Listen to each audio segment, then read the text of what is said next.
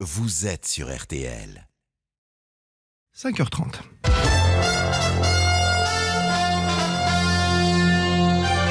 RTL Matin avec Christophe Paco. Et toute la formation avec vous, Alexandre de Saint-Aignan. Bonjour à vous. Bonjour Christophe, bonjour à tous. La réforme des retraites et le bras de fer qui continue, les regards se tournent désormais vers Emmanuel Macron. Oui, le chef de l'État qui doit présenter ses vœux aux Français demain soir, 26e jour de grève. Le trafic s'améliore en région parisienne.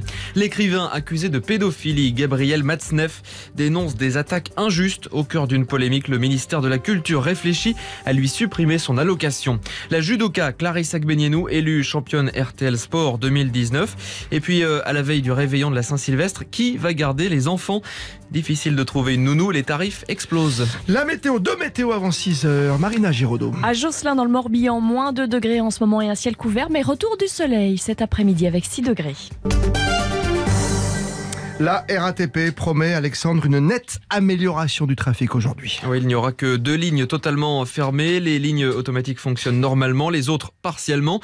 Ça s'arrange aussi sur le trafic des RER A et B. Il sera assuré de 6h30 à 19h30 aujourd'hui. Du côté de la SNCF, comptez seulement la moitié des TGV, un Transilien sur 4 et 3 TER sur 10. Le mouvement contre la réforme des retraites dure maintenant depuis 26 jours. Emmanuel Macron n'a pas le choix. Il devra en tenir compte demain soir. Vincent de Rosier, le président qui profite de son séjour au fort de Brégançon pour travailler ses traditionnels vœux aux Français. Oui, le président veut trouver les mots justes pour montrer sa détermination à aller jusqu'au bout, sans toutefois jeter de l'huile sur le feu. Impossible pour lui de ne pas dire un mot sur les retraites, d'autant que la situation se tend avec les syndicats. La CGT accuse notamment l'État de jouer le, le pourrissement et d'organiser le bordel. Alors jusqu'ici, Emmanuel Macron est resté très en retrait. Son appel à la trêve pour Noël, lancé depuis la Côte d'Ivoire, n'a pas été entendu. Le chef de l'État a bien sûr commencé à écrire depuis le fort de Brégançon mais il ne rentrera pas dans le détail de la réforme demain. Il ne devrait pas non plus faire d'annonce alors que la reprise officielle des négociations est, prévue dans une semaine.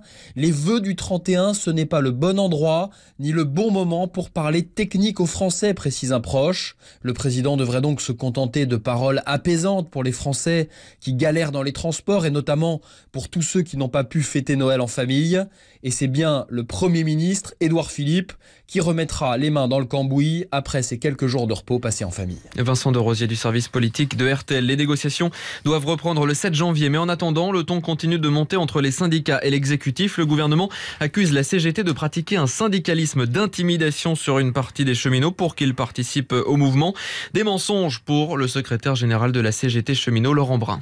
Nous sommes face à un ministre qui est un mythomane de la négociation, puisque euh, il explique tout le temps qu'il est en contact permanent avec les organisations syndicales et ça ne se vérifie jamais. En tout cas, pour la CGT, je peux dire que ça fait plus de 20 jours que je n'ai aucun contact avec le ministère des Transports. Ensuite, euh, il y a une négociation qui a été annoncée dans les médias pour le 7 janvier, à laquelle la Confédération euh, CGT participera si elle est convoquée. Mais vous comprenez bien que apprendre dans les médias qu'il y a des réunions de négociation sans avoir encore les convocations, c'est quand même des méthodes un peu particulières. Donc, euh, je pense que le gouvernement essaye de, d'amener sur la forme le débat plutôt que sur le fond de son projet de retraite. Laurent Brun, le secrétaire général de la CGT cheminot, au micro RTL de Julien Fautra. Une fusillade terrifiante à Marseille. Un homme portant un casque a ouvert le feu dans un gymnase avec une Kalachnikov, abattant euh, un homme d'une balle dans la tête et en blessant un autre. Les victimes étaient en train de jouer au foot dans le 14e arrondissement. Une affaire qui semble liée au trafic de drogue, selon le procureur qui évoque un règlement de compte. La colère d'Isabelle Balkany. Inquiète au sujet de l'état de santé de son mari, Patrick, toujours hospitalisé. Il a été transféré euh, de l'hôpital Cochin, direction la Pitié-Salpêtrière, dans une unité réservée aux personnes détenues. Isabelle Balkany se plaint que ce transfert éloigne son mari des médecins spécialistes qui le suivaient jusque-là. Le maire de Levallois aurait fait euh, un infarctus digestif il y a deux semaines. Il est incarcéré depuis le 13 septembre dernier, condamné pour fraude fiscale. Accusé de pédophilie, Gabriel Matzneff préfère parler d'une histoire d'amour. Écrivain aux pratiques pédophiles assumées, il est au cœur d'une polémique qui euh, secoue le monde littéraire et euh, choque la société. Gabriel Matzneff dénonce des attaques injustes tout en défendant la beauté, je cite, de sa relation avec Vanessa Springora. Elle sort un livre jeudi prochain, Vanessa Springora, qui raconte comment elle avait été séduite par l'auteur alors qu'elle n'avait que 14 ans au milieu des années 80. Gabriel Matzneff, lui, avait pratiquement 50 ans à l'époque. Hier, le ministre de la Culture a apporté son soutien à toutes les victimes qui ont le courage de briser le silence. Il envisage désormais de supprimer une aide financière dont Gabriel Matzneff bénéficie jusqu'à maintenant, Thomas Dulin. Oui, le Centre national du livre est un établissement public placé sous la tutelle du ministère de la Culture. Il a pour mission d'encourager la création et la diffusion d'ouvrages à travers différents dispositifs. Dans le cas de Gabriel Matzneff, il s'agit d'une allocation annuelle versée aux auteurs pour, je cite, pallier les difficultés financières liées au grand âge ou à la maladie d'auteur, dont l'œuvre a incontestablement contribué au rayonnement de la littérature française. Le montant de cette allocation varie entre 3 et 24 000 euros par an. D'après l'hebdomadaire L'Express, depuis 15 ans, Gabriel Maznev toucherait chaque année entre 7 et 8 000 euros versés donc par le CNL. Dans un tweet, le ministre de la Culture, Franck Riester, a demandé au centre de lui fournir toutes les précisions sur cette situation avant d'affirmer qu'il prendrait ses responsabilités. Les explications de Thomas Dulin pour RTL. À 6h15, notre invité euh, ce matin sera la présidente du mouvement féministe Ni pute ni soumise qui cherche de l'argent et qui risque de mettre la clé sous la porte. On va essayer de comprendre dans le climat actuel comment est-ce possible que cette association puisse fermer demain ou après-demain, qui sait. Donald Trump appelle à éradiquer le fléau de l'antisémitisme après une attaque contre la communauté juive près de New York. Le suspect a été inculpé hier pour euh, tentative d'homicide. Il est accusé d'avoir poignardé plusieurs personnes samedi soir lors d'une célébration de la fête juive de Hanouka. Toujours aux États-Unis, mais cette fois au Texas, les paroissiens d'une église ont tué un homme qui avait ouvert le feu en plein milieu de la messe avant d'être euh, abattu. L'assaillant a tué un fidèle et en a blessé grièvement un autre. RTL, petit matin, 5h36. Après le football, les Deschamps l'an dernier, c'était bien normal, hein, champion du monde. Le service des sports d'RTL décide cette année de rendre hommage au judo. Oui, c'est euh, Clarisse Agbenienou qui a été euh, élue championne RTL Sport 2019. Quatre fois championne du monde des moins de 63 kilos, la judoka avait été porte-drapeau de la délégation française pour les Jeux européens et elle se dit prête à renouveler l'expérience. Je me dis qu'on a tellement une belle délégation que euh, même moi, avec mes petites épaules de 64 mètres, du coup, va, va porter. Et c'est vrai que je, suis quand même un petit bout de femme, et je me dis qu'il y a tellement de beaux athlètes dans notre nation.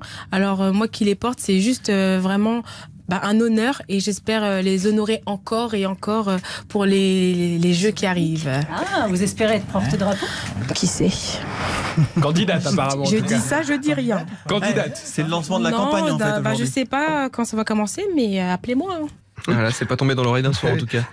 C'est des, des, propos recueillis par Quentin Vasselin pour RTL. En rugby, un duel équilibré qui s'est logiquement terminé par un match nul entre le Stade toulousain et Toulon hier soir, 13 partout. Un goût de victoire quand même pour le RCT qui termine l'année sur le podium derrière, derrière Bordeaux-Bègle et derrière Lyon. Et puis Alexis Pinturo, skieur le plus souvent victorieux en Coupe du Monde, le Français, a remporté hier le combiné de Bormio en Italie, 26e victoire de sa carrière, notamment grâce à sa performance en slalom. C'est beau, il vise le globe de cristal en fin d'année, hein, le skieur le plus complet en tout cas d'une saison. On a parlé tout à l'heure de déguisement du 31 décembre. On va parler cette fois de babysitter. Jamais simple à en trouver pour le soir du 31 décembre.